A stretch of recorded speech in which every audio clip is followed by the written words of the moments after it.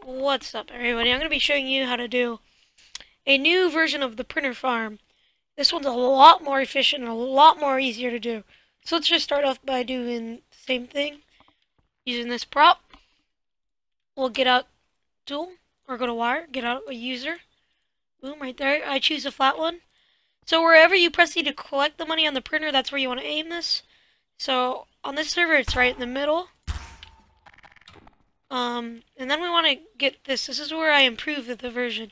We want to go to time, or I mean, sorry, we need we want to go to gate. Then we want to go to time. Then we want to get OS time. We just put this little mamma right there. We get out a our wiring tool. Some servers it's called advanced wire, but on this server it's called wire. So what we do is just put the fire to the out, and there you go. That'll be auto-collecting, so let me spawn in a printer. Where is it at?